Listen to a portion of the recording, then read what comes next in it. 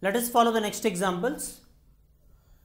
If A, B, C are interior angles of triangle ABC, then show that here two questions are given, two questions are belongs to the same model, belongs to the same application. Sine of B plus C by 2, sine of B plus C by 2 is equal to cos A by 2, tan of A plus B by 2 is equal to cot C by 2. Now, answer to A. That is given A comma B comma C are interior angles of triangle ABC that is we know well angle A plus angle B plus angle C is equal to 180 degrees. Reason sum of angles of a triangle. Sum of angles in a triangle is 180 degrees. Now, A plus B plus C is equal to 180 degrees. Now, according to the question, B and C are grouped. A is separated. In the same way, B plus C are grouped and A is separated. B plus C is equal to 180 minus A. Now, divide both sides by 2 divide both sides by 2 why? B plus c is divided by 2 in the question in the same way. Therefore b plus c by 2 is equal to 180 minus a by 2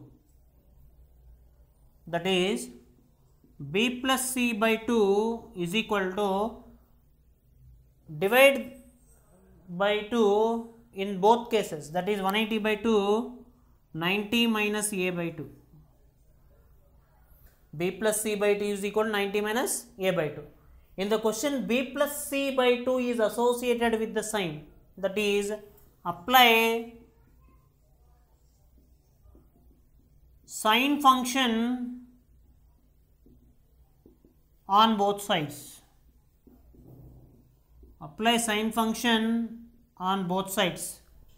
That is sine of b plus c by 2 is equal to sine of 90 minus a by 2 that is sine of b plus c by 2 is equal to with respect to 90 the trigonometric functions changes. That is sine changes to cos therefore the sine changes to cos in place of theta a by 2 is there which is hence proved. Therefore sine of b plus c by 2 is equal to cos a by 2 similarly follow the second condition with the same procedure. Answer to B given a comma b comma c are interior angles of triangle ABC. ABC are interior angles of triangle ABC.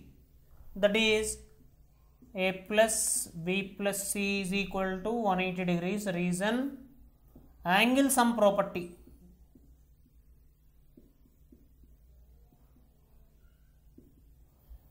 Angle sum property. Here written sum of angles of a triangle or angle sum property both are same. In the second question, A and B are associated. That means A and B are grouped. That is A plus B is equal to 180 minus C. And A plus B is divided by 2. That is divide both sides by 2.